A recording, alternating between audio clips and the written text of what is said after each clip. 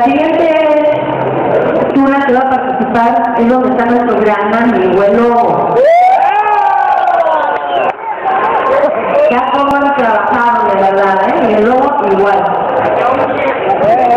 Para no interrumpir, la tuna imperial de la Ciudad de México, con todos ustedes fuerte aplauso.